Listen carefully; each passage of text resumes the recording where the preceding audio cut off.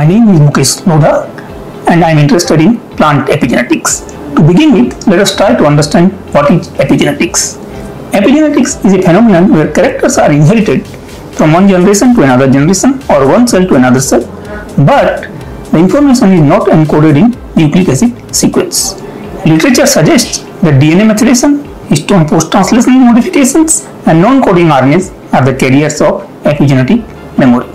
Our lab is specifically interested in histone post-translational modifications. Approximately 200 different histone post-translational modifications are known, but very few of them are known as epigenetic in nature. Approximately 200 different histone post-translational modifications are known, but very few of them are known as epigenetic in nature.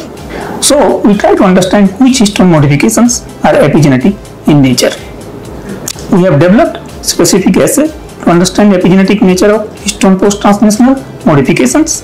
Our data suggest that H3K23 and H3K14 lysine residues are epigenetic in nature. More specifically, acetylation on these residues are epigenetic in nature.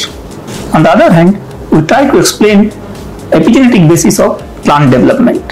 I give you two specific examples of plant development. First is vernalization. So what is vernalization? Vernalization is a phenomenon where plants receiving prolonged cold when brought to a normal temperature flower earlier than the plants which have not received cold.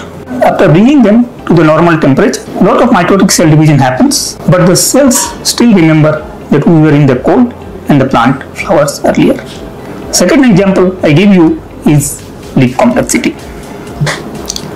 Shoot meristemless is a homeobox transcription factor which is very important in determining leaf complexity.